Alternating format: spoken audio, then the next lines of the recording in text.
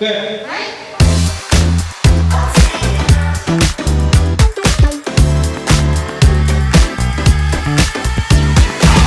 tâm cao đẹp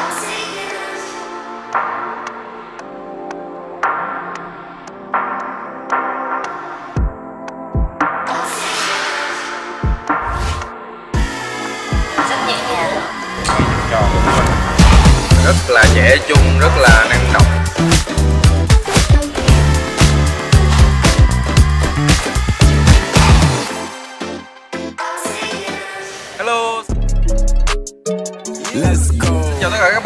À, hôm nay ờ, cao Kawai rất là vui khi một lần nữa được trở lại trong dự án với chị Hoàng Thị Linh. Lấy cái nền tảng văn hóa ờ, để làm background nó là chủ đề về miền Tây sông nước.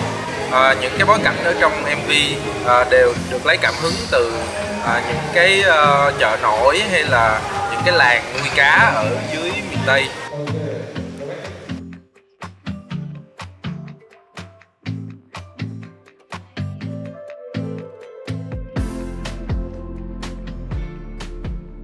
Gặp. Rồi. À, thưa bạn sau uh, cải cấp gặp bà già thì cũng hơn một năm rồi ờ, cái góc không gặp bà già.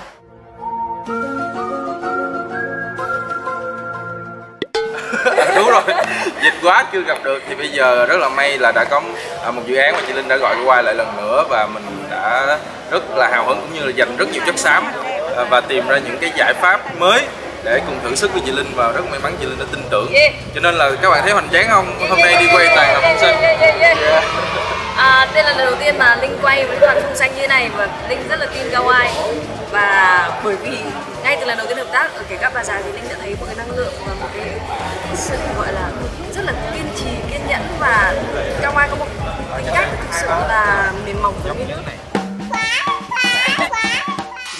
nào Linh cũng cảm thấy rất là yên tâm bởi vì Kawai hiểu là Linh rất là nóng tính và rất là yêu cầu khắt khe trong công việc cho nên Kawai cũng là một người như vậy nên là ở Linh và Kawai không phải nói quá nhiều về về những cái cái cái điều mà nhau muốn mà chỉ cần một chút thôi là đã hiểu ý nhau muốn gì cho nên là Dạ. lần này thì mong muốn mang đến cho quý vị khán giả một cái lạ hơn đúng không? dạ. Nếu như một câu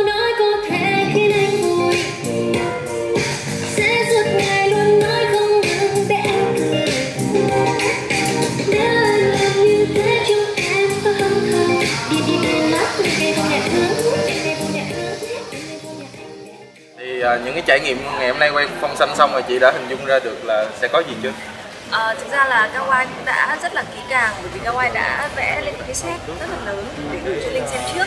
Tuy nhiên rằng dù sao thì Linh đã quen với cái việc là dựng một cái set hoành tráng ngay từ đầu ở ngoài à, và set đèn rồi mọi thứ. Dạ, dạ. Khi mà mình đã lên monitor là mình đã nhìn thấy hết mọi thứ rồi nhưng mà đây là lần đầu tiên mà trên monitor chỉ nhìn thấy cái hình ảnh.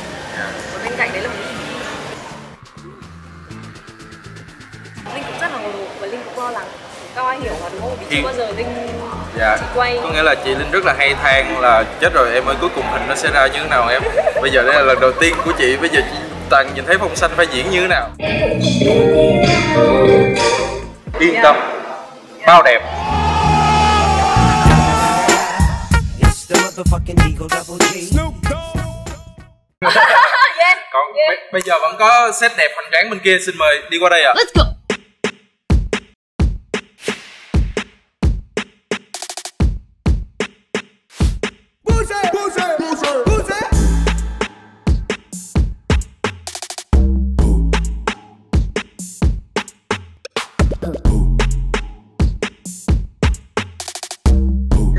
Đề tài cũng như là bài hát của Linh đưa ra thì à, Hoàng có thời gian khoảng 2 tháng để có thể chuẩn bị cho MV lần này. Với MV lần này của Linh thì đang uh, diễn tả lại những cái cảnh đẹp ở miền Tây, cái văn hóa của miền Tây là cái chất liệu để cho Hoàng tìm hiểu cũng như là uh, để đưa vào cho cái MV lần này để trở nên nó mang một cái màu sắc khác.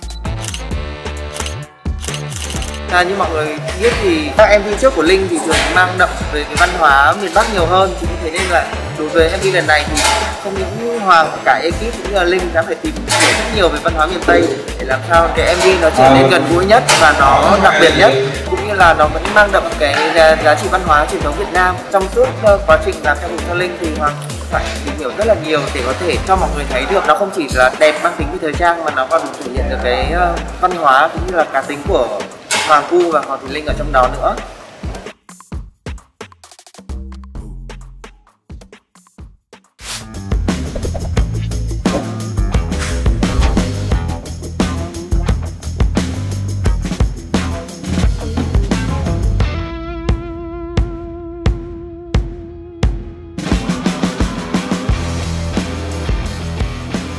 MV rất cực kỳ cực kỳ đẹp bởi vì thiết kế cực kỳ đẹp luôn và cái phần kỹ xảo thì rất là lung linh và bất ngờ. Mọi người nhớ đón xem nha.